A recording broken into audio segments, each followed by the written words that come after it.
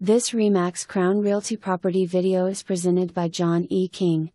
Lawn care included. Located in prestigious Harbor Point subdivision with boats and motor homes allowed.